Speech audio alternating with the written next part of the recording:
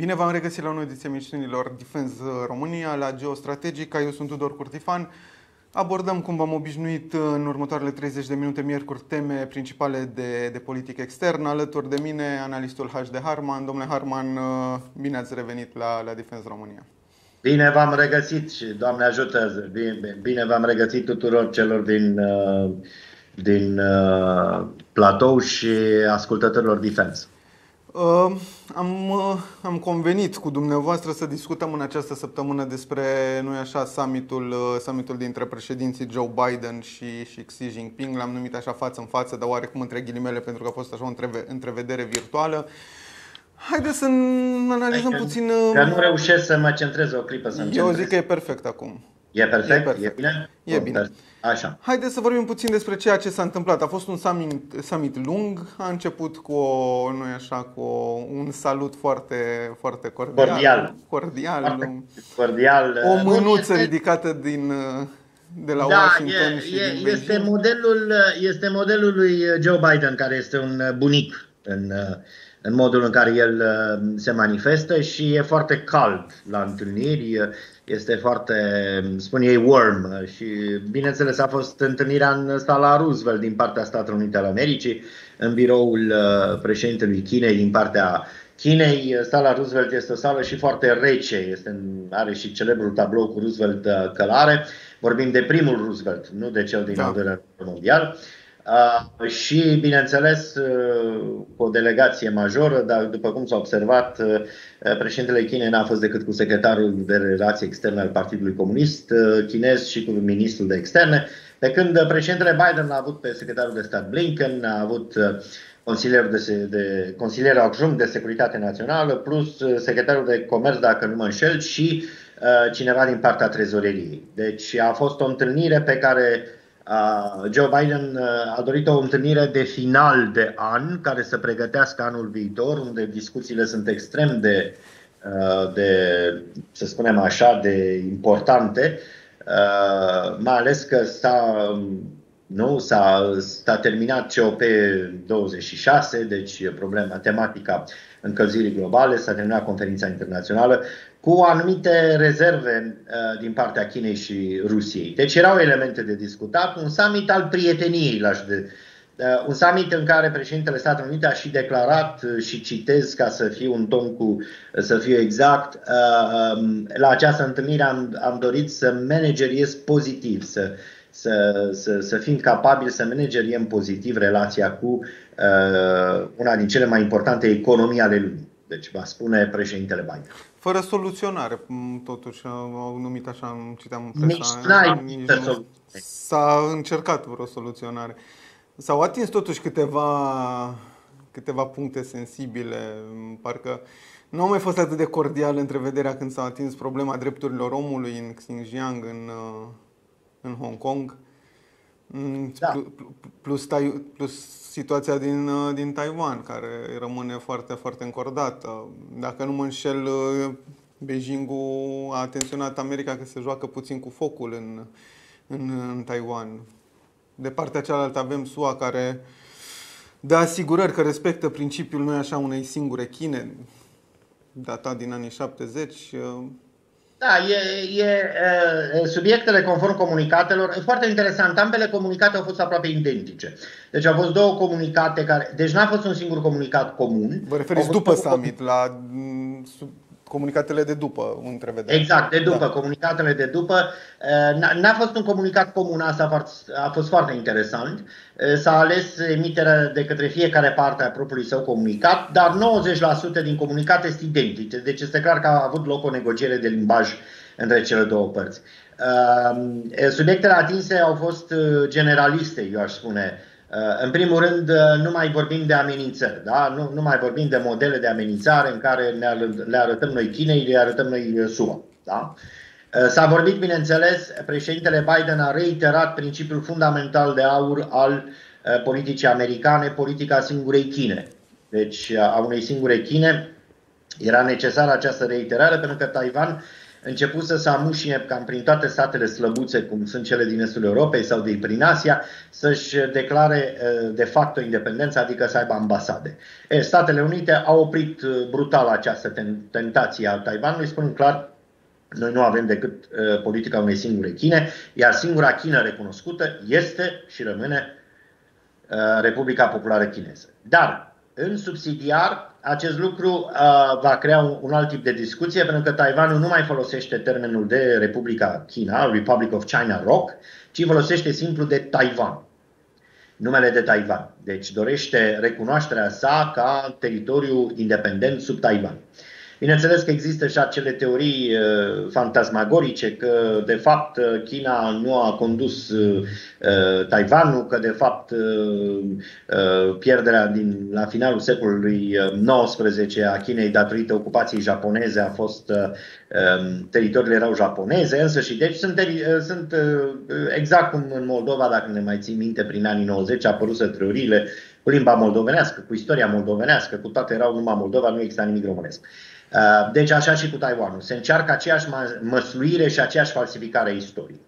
Dar uh, pe tema Taiwanului, uh, China a venit însă cu un element foarte clar. Bun, voi recunoașteți o singură China, dar noi vă atenționăm că orice tentativă a Taiwanului de a se declara independentă, de a, de a nu-și recunoaște rădăcinile chineze, populația de acolo este majoritară Han. Deci este, ah, este, da. chiar, este chiar populație chineză, chineză în, în Taiwan, ei sunt chinezi. Așa, dacă, dacă Taiwan încearcă să falsifice istoria, reacțiile noastre vor fi pe măsură. Președintele Biden a replicat cu un singur argument, care este foarte valid, ehm, atenție să nu se distrugă status quo. În momentul în care se distruge status quo, în acel moment ehm, vom pune în uh, discuție și celebra uh, celebra politica unei singure Chine. Deci aici a fost un element de șantaj, aș spune eu, la adresa Chinei și China invers de șantaj la adresa Statelor Unite. Uh, Taiwanul să nu mai încerce cu independența, iar uh, uh, din, din partea Chinei, că altfel ne supărăm, iar SUA să spună, bun, bun, dacă vă supărați, aveți grijă, putem pune în discuție principiul, principiul sacrosant al unei singure Chine.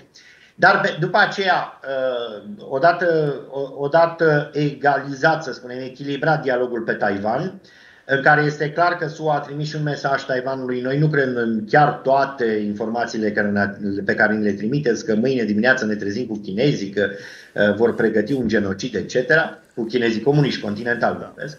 Deci uh, a fost și un mesaj și de calmare a Taiwanului, care, repet, de câte de, de vreun an de zile tot împunge uh, ursul, știi? Tot, tot împunge apa cu bățul, poate, poate iese peștele, cam așa, știi? Cum, cum, cum, cum, zic, cum zic pescarii. E, din nefericire, SUA nu, nu, a, nu a permis un joc mai larg. A fost bună detenționarea, a fost chiar primul subiect de discuție, deci ca să fie foarte clar pentru China că această întâlnire nu reprezintă un joc de forță. Da? Deci trampismul declarațiilor uh, americane din ultimii cinci ani a dispărut la Biden. Este clar că Biden dorește chiar să fie un manager de relație, nici de cum Um, un superior al relației, nici de cum un comandant al relației, în contradicție cu politica uh, trumpiană. Uh, uh, al doilea punct care a fost foarte interesant, uh, sunt totuși necesare dialog, uh, este totuși necesar un dialog de echilibrare uh, în raport cu uh, relațiile economice dintre cele două state. Să nu uităm că în acest moment noi avem cele două state, SUA și uh, China, care sunt cele mai puternice putere economice din, uh, din lume. Uh, practic, ele jonglează între locul 1 și 2, dar între ele două, diferența între locul 1 și 2 e de o treaptă foarte subțire. Uh, această, această reglare de tensiuni între cele două mari, cele mai mari puteri economice ale lumii trebuie făcută și ideea lui Biden de a fi manager al relației, adică de a fi foarte atent la elementele constitutive ale relației, a fost un, uh, o idee foarte bună pentru că a calmat într-un fel temerile uh, conducerii de la Beijing cu privire la înăsprirea anumitor sancțiuni, cu privire la războiul cipurilor care are loc uh, la ora, la ora aceasta între SUA și China, cu privire la marile probleme de resurse, la marile întârzieri de pe linia de, pro, de aprovizionare universală. În China este o mare și o gravă criză de containere, este o mare și gravă criză de, de, de containere feroviare, nu numai maritime, uh, de, de vagoane, efectiv. Deci uh, aici Biden uh, a folosit un mesaj pe, cât de, pe, pe atât de calm, pe cât însă de forță. Noi ne vom apăra interesele, aș fi spus noi ne vom apăra interesele indiferent de ceea ce spun uh, unii și alții și noi vom, ne vom apăra și aliații. E o schimbare față de, de administrația precedentă a abordării problemei sau subiect dosarului China. Mi se pare că Biden e mai echilibrat așa în pe, pe, în perioada lui Trump am fi putut vedea o asemenea, asemenea întrevederi sau, nu știu, reglări de tensiune între... Era, parcă, avut, era, uh, pra, da, era, nu știu, de, de o retorică mai agresivă antichineză. Da, uh, Trump, uh, Trump nu avea ideea de videoconferință. Deci el făcea cu, la telefon. Da. Și la telefon țipa și uh, el a avut celebrele discuții nu, cu Erdogan, Erdogan al Recep Erdogan al Turciei, în care efectiv l-a insultat. A fost și celebra scrisoare insultătoare da, da, da, da. lui. A avut o discuție extrem de acerbă cu, cu primul ministru britanic, căruia i-a trântit fizic telefonul, așa, cu Johnson. Deci, nu. Aici, aici Joe Biden folosește vechea școală diplomatică americană, mult mai calmă, cu un limbaj mult mai uh, Uh, mult mai liniștit, mult mai uh, așezat, cu un uh, limbaj al, al forței, însă al forței elevate, al, al, forței, al forței educate, la care China știe să răspundă și China are același model. China poate să răspundă virulent și brutal lingvistic la o provocare, dar poate să fie și China cu istorie de 5.000 de ani, cu o diplomație imperială și cu o diplomație extrem de educată și extrem de subtilă. Deci aici încearcă Biden să, re, să reformateze dialogul cu China, uh, oferind Chinei spațiul acela de respect uh, și de, de, de, de deferență intelectuală Uh, pe care China consideră, uh, Beijingul consideră că trebuie oricine să-l aibă față de uh, statul și poporul chinez, având în vedere istoria de 5.000 de ani, istorie statală, filozofie, cultură, etc. și dezvoltarea economică astăzi. Deci Biden asta încearcă și uite că dialogul de, de ieri a fost un dialog de alarte, de fapt, a fost un dialog extrem de calm, extrem de interesant, cu nuanțele necesare, dar care nu a dus la progrese deosebite. Deci nu a răspuns nici uh, vulturilor uh, anti-chinezi uh, din Casa Albă sau din Statele Unite, în special cei republicani, cum nu a răspuns nici așteptărilor neapărat optimiste ale Beijingului că situațiile de criză între cele două state, care sunt punctuale la ora actuală, dar există, Uh, dau doar exemplul de care am vorbit, uh, strâmtoarea Taiwan, uh, doar dau exemplu situației cu Australia, cu noua alianță AUKUS, da. Australia, Marea Britanie, SUA. Deci nu a răspuns nici celor care doreau mai mult, din, cel, vorbesc reprezentanților chinezi. A fost, zic eu, o întâlnire de tranziție, o întâlnire în care fiecare să învețe din nou să danseze împreună de tatonare, așa. Nu, nu, nu, nu, a fost o lecție. Nu, nu, a fost o întâlnire de lecție. Vor să înceapă să danseze împreună, dar uh, conflictele, să spunem așa, punctuale și tensiunile punctuale care au avut loc succesiv în ultimii ani uh, între cele două state au dus la uh, unul stă într-un colț al ringului de dans și celălalt stă într-altul și nimeni nu poate să-i facă să se invite unul pe altul. La... Deci, uh, summitul, summitul acesta a fost efectiv de echilibrare a dialogului, să se găsească măcar dicționarul pe care trebuie să-l folosească atât SUA cât și China, uh, cu respectiv cu, cu alfabetul de avertizare că există linii roșii pe care niciun, uh, niciuna, nici uh, cealaltă dintre cele două supraputeri mondiale nu le va accepta, nu, nu va accepta să fie trecute.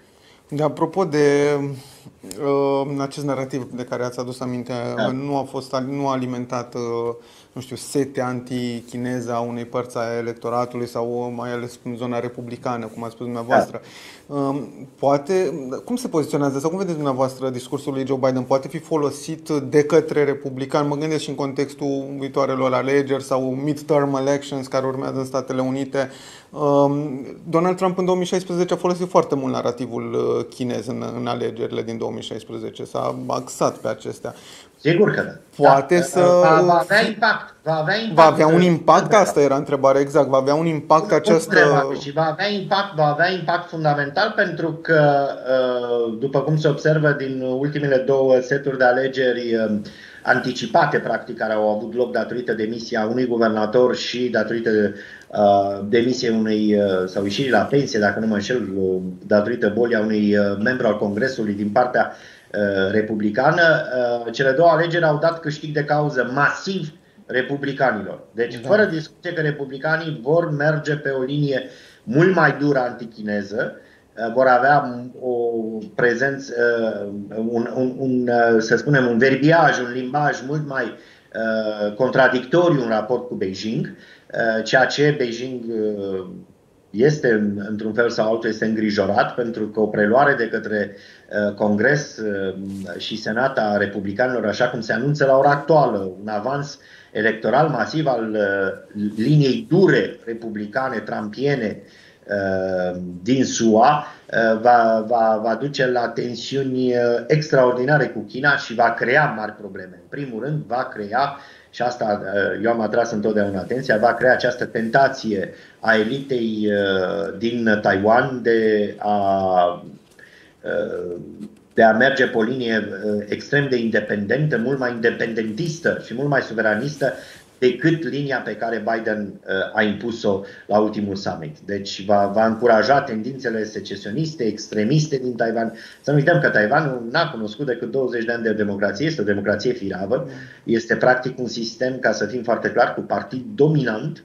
Uh, mie mi-a plăcut falsul, declara, uh, falsul definiției.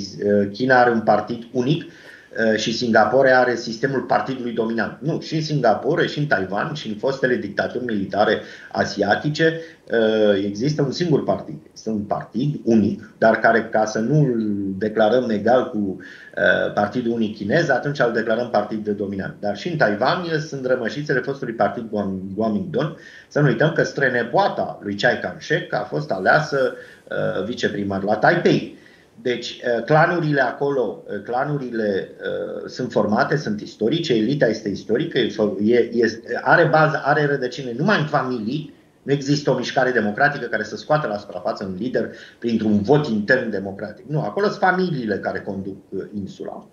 Uh, un sistem puțin retrograd, aș spune eu, și puțin medieval, dar așa s-a menținut uh, Taiwanul. E, aceste familii, această elită, aceste clanuri vor fi încurajate de uh, o eventuală evoluție pozitivă electorală a Partidului Republican la midterms, la alegerile de, de, de mijloc de mandat, uh, să devină mult mai uh, asertive, mult mai uh, uh suveraniste, mult mai antichineze, uh, să folosească ideologia aceasta anticomunistă, fervent anticomunistă, extrem, extremist anticomunistă a, a Partidului Republican din SUA, pentru a-și folosi, pentru, pentru a obține propriile lor interese. Pentru că e vorba de interesele proprii ale familiilor conducătoare din Taiwan, nu e vorba de democrație sau de poporul taiwanez. Acolo nu există, ei se știu chinezi și acolo, nu, nu, acolo este o, o mică butaforie propagandistică, ca să fim clari. Dar mă întorc, această întărire republicană va duce, repet, la întărirea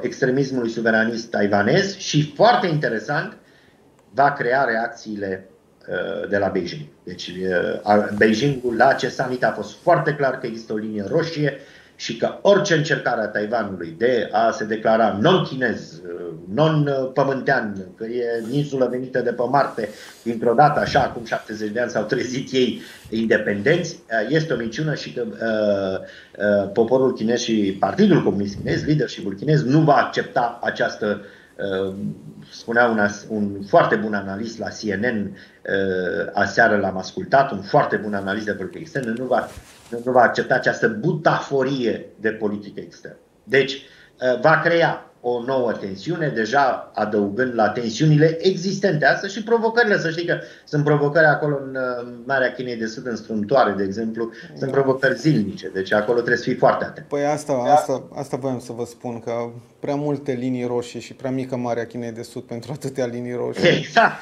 și prea multe puteri care se bat acolo. Și da. trasează linii roșii. Pare imposibil să nu fie atinse la un moment dat. Moment dat cum e, liniile se intersectează și la punctul de intersecție este războiul. Deci acolo sunt foarte multe elemente, sensibilitatea este majoră. Avem și această criză a chipurilor care, uite, de exemplu, creează o problemă cât casa industriei constructoare de mașini, special celei germane și celei, și cele americane. Mașinile fără chipuri nu prea mai merg, toate mașinile depoluarea, uh, proiectul de, de lansarea mașinilor electrice nu ține decât de chipuri și iată că avem o involuție a producției chipurilor. În Taiwan este cel mai mare producător. De fapt, în acest moment, tocmai de aceea, uh, tocmai de aceea avem această calmare a jocului, pentru că se cheamă The Silicon Wall, dacă mai ții minte, noi am avut zidul Berlinului, zidul, uh, zidul de, uh, de ciment, am avut zidul de bambus, da, bariera de bambus din Cuba, am avut mai multe ziduri în istorie, e, acum vorbim de zidul siliconului, pentru că cel mai mare producător uh, de, cum se cheamă, de, de chipuri din lume este în Taiwan și compania respectivă este foarte afectată de criza de linii de, de comerț internaționale, de lipsa containerelor, etc. Uh, și uite, se observă o încetinire a, în industria constructoare de mașini, că sunt automobilele noastre personale sau că sunt mașini industriale, că sunt da, să știți că se simte foarte, foarte pregnant această da. criză și, la, și în Europa și la noi. Vă dau un caz personal, un apropiat.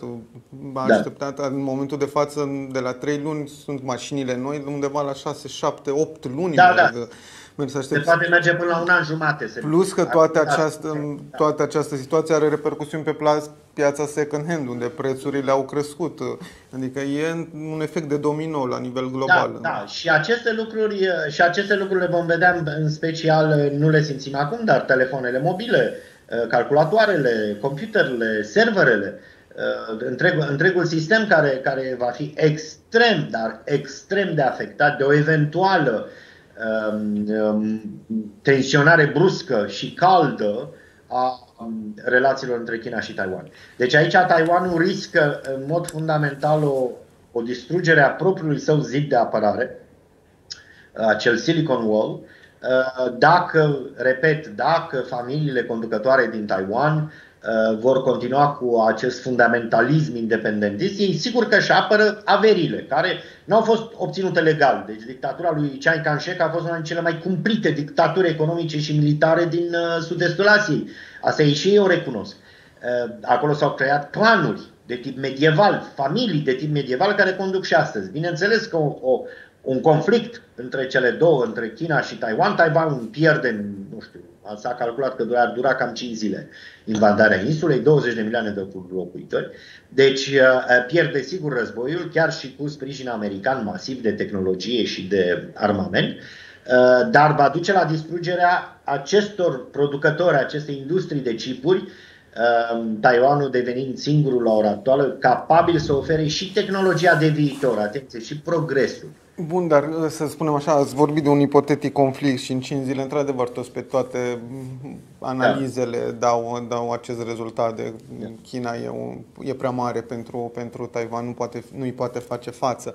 Da. Dar um, costul ar fi imens pentru China la nivel internațional, la nivel ar de... Ar fi imens pentru Occident. Pentru că dacă rămâi fără chipuri, ai 40% din economia. Nu mă refer doar la chipuri cred că va fi, ar fi o reacție, bine, am mai vorbit despre asta, cred că pentru SUA ar fi o, un cataclism geostrategic, ce a fost Crimea, ce ar fi Taiwanul. Adică ar fi... Da, nu, eu am să spun un lucru. China și poate, uh, poate să aibă și o alt tip de politică pe care dacă este, este pusă efectiv la colț, la, cu capul la zid, dacă e împinsă în zid, o, o, va decide așa cum a decis Putin. Și Putin și-a asumat când a intrat în Crimea un cost internațional. Da? Care el însă de-a, de lungul anilor, ca să fim foarte clar, acest cost internațional se resoarbe. Deci cu cât criza se eternizează, cu atâta, de exemplu, peste 10 ani, da, când se vor face 15 ani de la invadarea Crimei, Noi, oameni politici de atunci, viitoarea generație va spune, stai mă, tot o continuăm cu Crimea, la la la, ăla și-a făcut poduri, ăla și-a făcut armata, la ce tot, tot ținem gaia mațul cu Crimea, gata. Că și noi la un moment dat tot țineam cu Basarabia, Basarabia și erau independenți și zi, veneau rușii peste, peste ei și își puneau guverne, veneau nemții și își puneau guverne. Deci ce tărâm uh, românesc mai avem? Uh, iată, uh, iată și problema uh, asumării costului în cazul unei, uh, unei, uh, uh unei asumări uh, chineze Uh, da, vor trece ani. Poate să-i scoate pe chinezi cineva din uh, Taiwan? Nu. Și atunci vor trece ani și probabil că la un moment dat uh, și lumea și țările care vor fi foarte bățoase la început vor spune, băi fraților, stați o clipă că acolo nu putem să ne ducem, totuși să schimbăm realitatea. De aceea China, știind că are această soluție, ea totdeauna pune în față politica pașnică, a unificării pașnice. Președintele Xi a reconfirmat această politică, da? spre mulțumirea lui Biden. Dar ea este paralelă. Ea nu, ea nu vine în complementaritatea politicii unei singure Chine. Pentru că există o singură China, bun, și la un moment dat, dacă China va spune gata cu status quo taiwanez, ce facem? Încălcăm politica unei singure, unei singure Chine și recunoaștem independența Taiwanului, de fapt, ce, de fapt provocând ce? O agresiune fundamentală americană sau occidentală a lumii, a lumii occidentale față de China, pe care agresiune China o va considera de drept și de, de iure și de fapt o agresiune și atunci ne aflăm în stare de război. Deci iată unde duc. Ele sunt paralele aceste politici. Una de, de, de planificare pașnică a reintegrării Taiwanului în, în teritoriul Chinei. Pe de altă parte este acest, acest echilibru, acest status quo Uh, voi nu vă băgați, noi nu recunoaștem Taiwanul independent, dar vindem armament uh, angro în Taiwan, așa. Uh, dar în momentul în care acest status quo se va rupe, în momentul în care China sau SUA vor provoca, sau altă putere, altă putere mondială va, va provoca ruptura, în acel moment ce faci? Pentru că intri efectiv în stadii pre-război, deci intri în stadii de la provocare, treci direct la agresiune. Că nu este o agresiune fizică la început, este o agresiune de, de, printr-o decizie nefericită sau printr-o decizie provocată de un alt aliat. Ce faci? De aceea eu cred că summitul a mai declarat un lucru. Pe subiectul Taiwan, discuția este numai între China și SUA. Ceilalți aliați ai SUA sau ceilalți aliați ai Chinei n-au voie să se bage. Este un avertisment și pentru Marea Britanie, care tot încearcă acolo să fie ea cocoșul cu, cu penele în sus. Eh, pentru alte puteri nucleare care ar dori să fie și ele la masa discuției. Și eu cred că asta a fost de fapt o reiterare a faptului că subiectele fundamentale de securitate în Marea Chinei de Sud aparțin exclusiv dialogului între Beijing și Casa Albă. Eu cred că și asta a fost, acesta a fost mesajul, pentru că, repet, cele două comunicate sunt aproape identice, 95% sunt aproape identice. Mă mir că nu vedem, uh, nu vedem Rusia într-o zonă tensionată. Hop, și Rusia nu e Rusia acum în... Nu, pentru că este clar că aici înțelegerea, eu, noi am explicat da, mecanismul. Da, erau... Înțelegerea Nasia, chino, uh, chino, sino-rusească este una, în Europa sunt două state total diferite, deci nu, Rusia exact, nu se va băga am, pe Am zis așa în spirit de glumă, am explicat da, da, da, într-adevăr nu, nu, asta. Este, este și asta o posibilitate dacă la Moscova va fi instalat un, un lider uh, mai să spunem așa, mai puțin responsabil decât cel actual. Adică un lider mult mai conservator, mult mai extremist. Se poate, în Rusia te poți aștepta la orice fel de surpriză. Da. Dar nu, în condițiile actuale, summitul asta a reamintit lumii că dialogul pe marile teme de geostrategie din Marea Chinei de Sud se poartă numai între Beijing și Washington. Că ceilalți, chiar cu micile provocări pe care le încearcă, nu sunt cei care vor decide. Bun, pe de altă parte și încheiem, trebuie să admitem da. că Statele Unite trebuie să admită, sau China trebuie să admită în oarecare măsură că nu o să poată scoate Statele Unite, nu le pot împinge din Marea Chinei de Sud. Statele Unite trebuie să admită că nu pot să stopeze ascensiunea Chinei, deci practic trebuie să fie o, un echilibru, altfel nu... Da, echilibru, vezi, aici este foarte interesant. Atunci când Uh, China era slabă economic, acest echilibru era în favoarea SUA. Acum când China este supraputere economică, uh, se schimbă balanța. chiar dacă stau pe loc, dar eu devin foarte puternic, deci dintr-o stâncă mă, mă transform într-o insulă, imaginează geologic, dintr-o stâncă mă da. transform într-o insulă și dintr-o insulă mă transform într-o peninsulă și apoi un continent, da? E, sigur că e în defavoarea celuilalt. Deci aici SUA încearcă să echilibreze acest joc. Fără discuție că între cei doi se va juca și soarta Taiwanului, și soarta lui Paracelsius, insulor Paracelsius, și, uh, uh, și soarta Australiei, fără discuție. SUA acum și-au declarat clar, Australia e noastră, nu te băga. Dar ce faci cu New Zealandul, cu, cu Noua Zeelandă, da, ce faci cu Filipinele, da, ce faci... Adică are, eu am impresia că în acest moment se încearcă uh, tatonarea hărții. Care e mhm. partea mea, care e partea ta? Mhm. Aici este... Uh, dar, repet, dacă e status quo, până acum era în favoarea SUA, pentru că China economic nu era foarte important.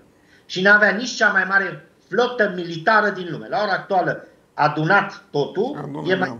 decât flota militară uh, chineză. Sigur că nu ne impresionăm pentru că... Da, uh, nu, nu e nivel de forță. La nivelul da, forței, americanii da, rămân evident puterni, cei mai puternici. Numai să stai și să te uiți la sutele de, de distrugătoare și le... Da, de, e un semnal de, de alarmă. De și de... Da. Domnule Harman, vă mulțumim pentru, pentru prezență, pentru Eu analiza summitului dintre, dintre Joe Biden și Xi Jinping, o reglare de tensiune foarte, foarte benefică, nu-i așa? Pentru că când diplomația eșuează, vorbesc armele și nu, nu vrem asta. Și nu vrem asta. Din fericire.